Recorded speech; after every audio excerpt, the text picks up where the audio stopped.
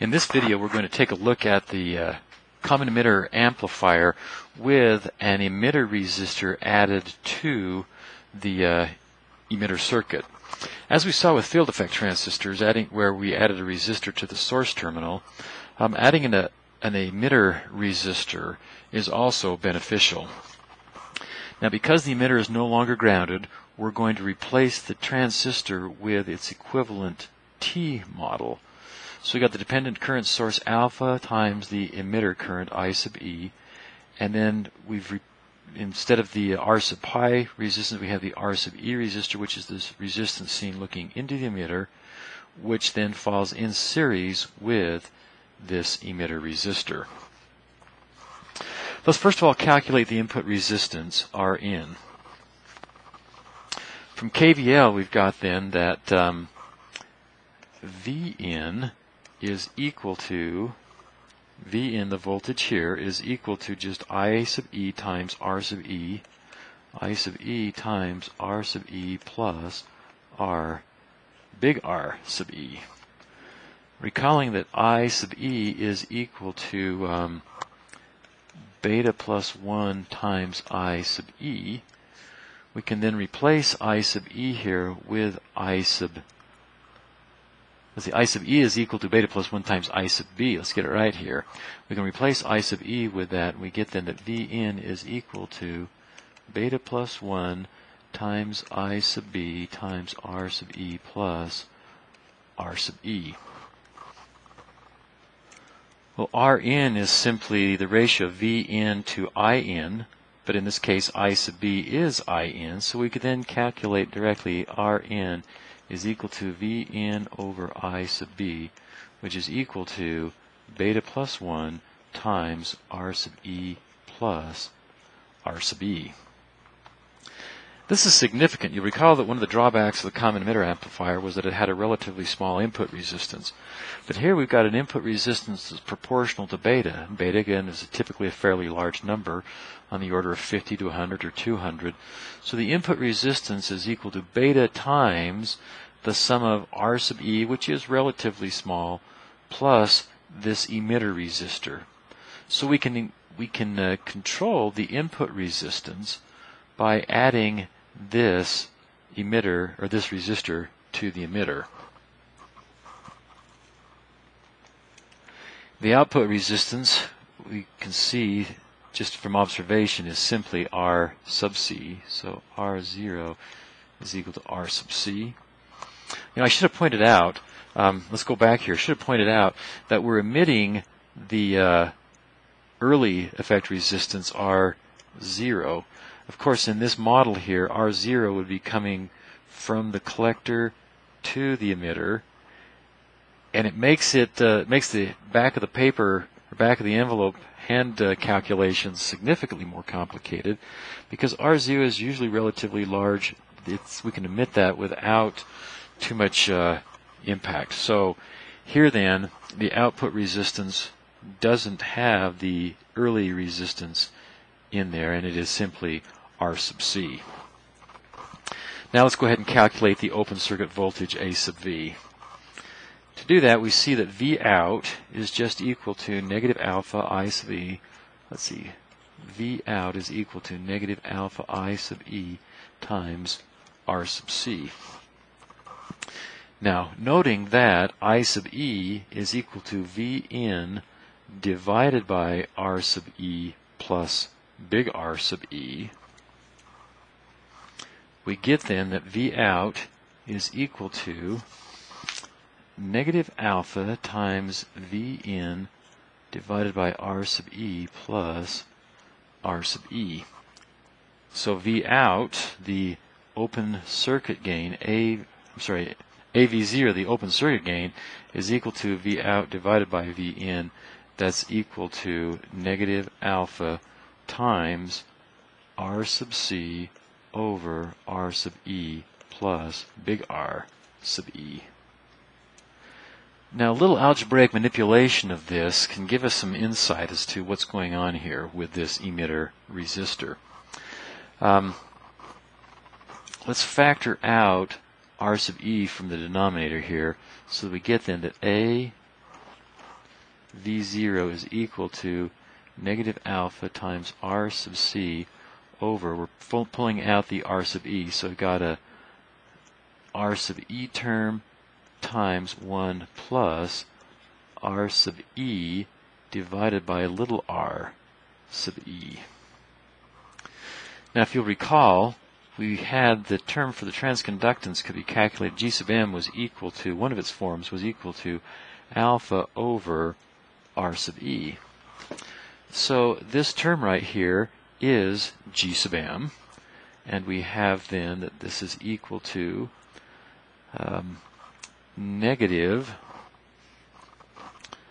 G sub m times R sub c, and we still have this factor of 1 plus R sub e over little r sub e down here in the denominator.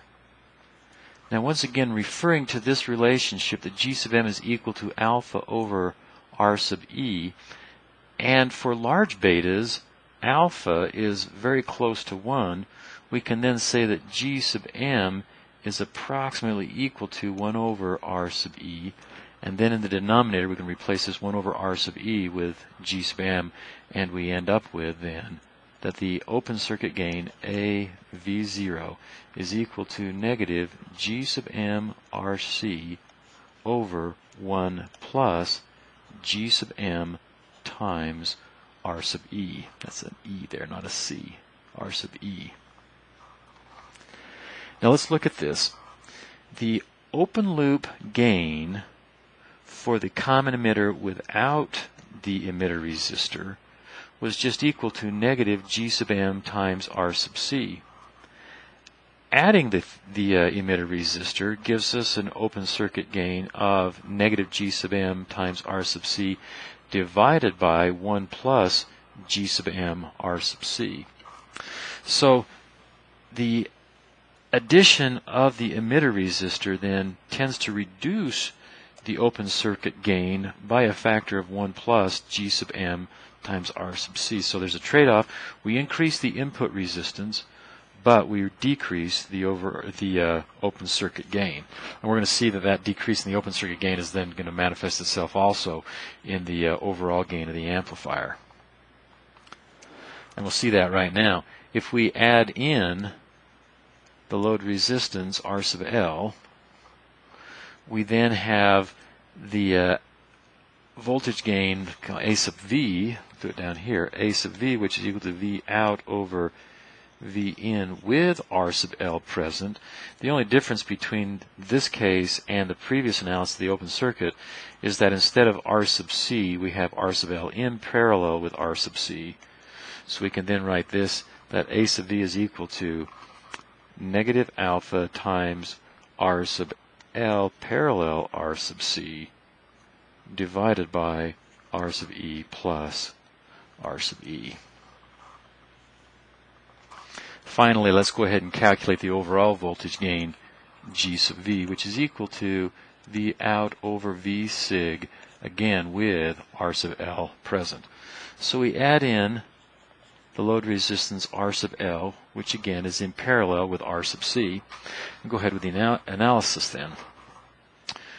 We have then that V out is equal to negative alpha times I sub E times the parallel combination of R sub C and R sub L. And recalling that I sub E is equal to beta plus 1 times uh, I sub B. This part of it is just like we did before. We have then that V out is equal to, I'm going to replace alpha with, um, first of all, there's a minus sign, and then alpha is equal to beta over beta plus 1 times I sub E, but I sub E is just I sub B times beta plus 1 times R sub C in parallel with R sub L. The beta plus 1 terms here cancel. We now have V out in terms of I sub B is equal to negative beta I sub B times the parallel combination there. So we need to get I sub B in terms of the uh, signal resistance here, and we can do that with a KVL around this total loop here.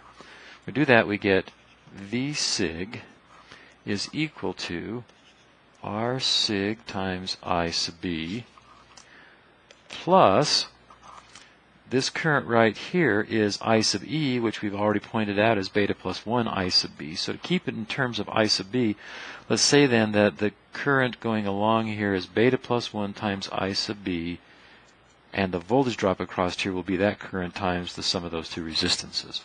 Or we have then plus beta plus 1 times I sub B times R sub E plus capital R sub E. We factor out the I sub B terms and we have R sig plus beta plus 1 times R sub E plus capital R sub E.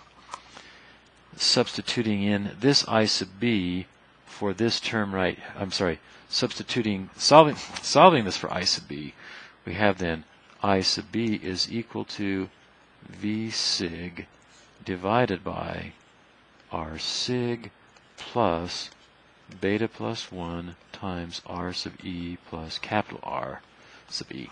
Now we can substitute in this I sub B term into this expression up here, and we get then that V out is equal to negative beta times the parallel combination of the collector resistor and the load resistor times V sig divided by that denominator. And we just divided by that big old denominator right there. And we get then that G sub V the overall voltage gain is equal to negative beta times R sub C parallel R sub L divided by that the denominator again R sig plus beta plus 1 times R sub E plus R sub E. So let's recap what uh, adding this emitter resistor has accomplished for us. It increased the input resistance, which is a positive thing. It did reduce the gain, the overall gain, by a factor of 1 plus G sub m times R sub E. But because of the voltage division at the input, this this uh, reduced gain factor in the voltage division at the input, it turns out that we can allow a larger range of voltages for V sig.